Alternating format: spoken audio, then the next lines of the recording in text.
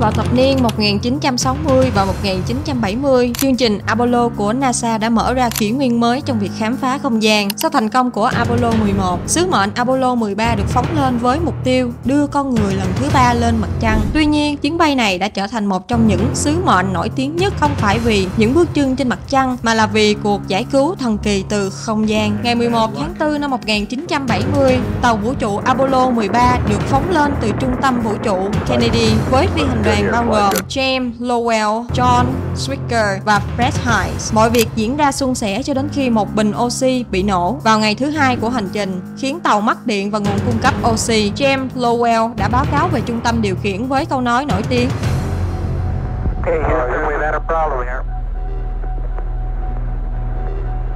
Can say again, please.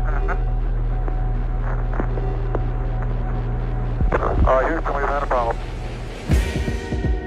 Sau vụ nổ, phi hành đoàn phải đối mặt với nhiều thử thách sinh tử. Các hệ thống hỗ trợ sự sống trên mô đun chỉ huy bị hỏng. Họ buộc phải chuyển sang mô đun đổ bộ mặt trăng để sử dụng như một tàu cứu sinh. Các kỹ sư và chuyên gia tại trung tâm điều khiển dưới sự dẫn dắt của Jane Hand đã làm việc không ngừng nghỉ để tìm ra các giải pháp đưa các phi hành đoàn trở về an toàn. Với nguồn lực hạn chế, phi hành đoàn và nhóm điều khiển đã phải thực hiện những tính toán phức tạp và các biện pháp sáng tạo. Họ phải định hướng lại tàu vũ trụ bằng cách sử dụng động cơ mô đun đổ bộ và phải chế tạo một thiết bị lọc CO CO2 tạm thời từ các vật liệu có sẵn trên tàu. Mỗi quyết định đều đòi hỏi sự chính xác, tuyệt đối và can đảm. Sau những nỗ lực không ngừng nghỉ, ngày 17 tháng 4 năm 1970, Apollo 13 đã hạ cánh an toàn xuống Thái Bình Dương. Phi hành đoàn được chào đón như những người hùng và sự thành công của cuộc giải cứu được ca ngợi là một trong những kỳ tích vĩ đại nhất trong lịch sử hàng không vũ trụ. Sứ mệnh Apollo 13 không chỉ là một câu chuyện về sự sống mà còn là minh chứng cho sức mạnh của trí tuệ, tinh thần đồng đội và lòng dũng cảm. Nếu như bạn ngưỡng mộ sự trí tuệ